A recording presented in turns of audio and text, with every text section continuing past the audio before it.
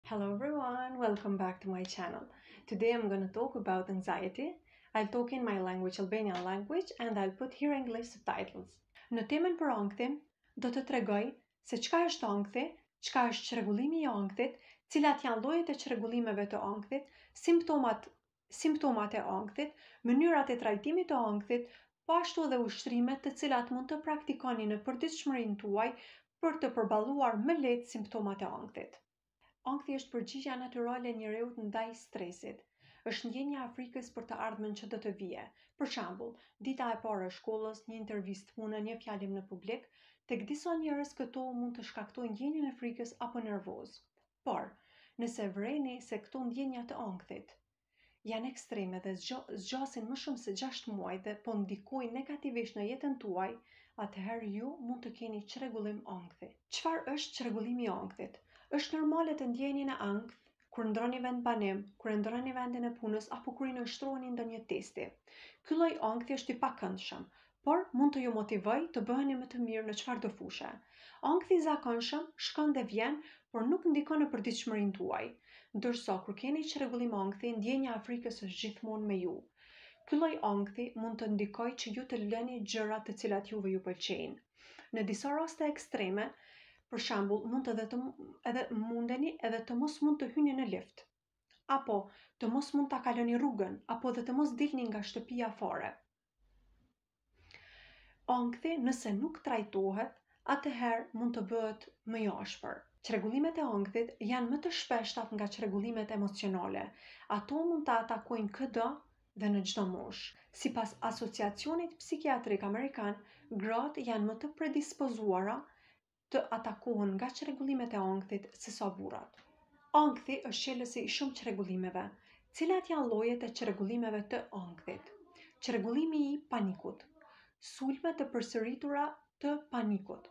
Personi me çrregullim të panikut ka mundësi të jetojë me frikën e shfaqjes së një tjetër ataku të panikut. Fobia, Frikë e tepruar nga një situatë, objekt apo aktivitet specifik, si për shembull frika nga lartësitë. Ankthi social, Frika e tepruar se mund të gjykohesh nga të tjerët në situata të ndryshme sociale.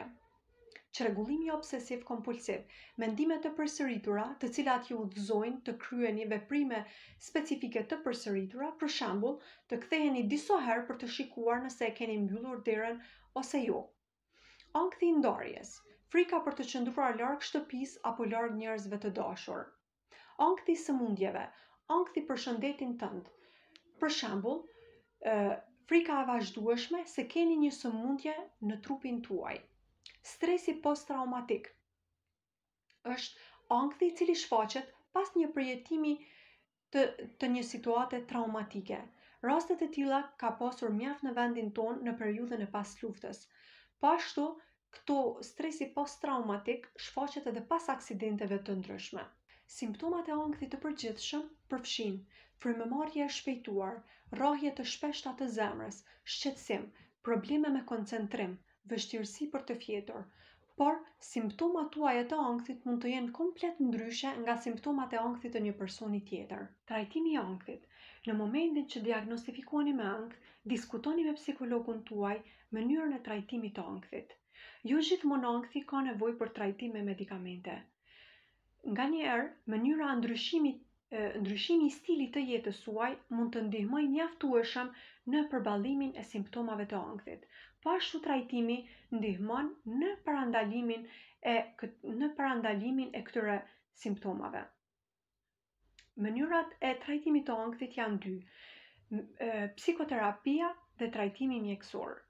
Trajtimi psikoterapeutik përfshin takimin tuaj me psikologun, ku ju mësoni metoda apo strategji se si të ballafaqoheni me e, simptomat e ankthit, ndërsa trajtimi mjekësor përfshin përdorimin e antidepresantëve dhe qetësuesve, të, cil, të cilët të cilët ndikojnë në parandalimin e shfaqjes së episodeve të ankthit. Mënyrat natyrale për përballimin e ankthit janë meditimi, këtu hyn edhe pjesa e faljes së namazit, të ushqehemi shëndetshëm, të jesh aktiv apo të kryesh ushtrime fizike, largimi nga alkooli, largimi nga kofeina, Moskonsumimi i duhanit tani do të tregoj për ushtrimet të cilat mund të praktikoni për të tejkaluar ndjenjën e ankthit. Nëse dëshironi që sa më shpejt të tejkaloni ndjenjën e ankthit, atëherë lëvizni. Njerëzit të cilët ballafaqohen me çrregullim me çrregullim ankthi dhe të cilët kanë filluar të vrapojnë së paku njëzet minuta gjatë ditës, Tek ata dukshëm janë reduktuar shfaqja është reduktuar dukshëm shfaqja e ndjenjës së ankthit. Po ashtu meditimi është një metodë e cila ndihmon në përballimin e ndjenjës së ankthit. Meditimi është metodë ku ne koncentrohemi pa pro, ku ne koncentrohemi dhe pa provuar të para pa provuar të paragjykojmë, interpretojmë apo të ndryshojmë ndjenjat dhe mendimet tona.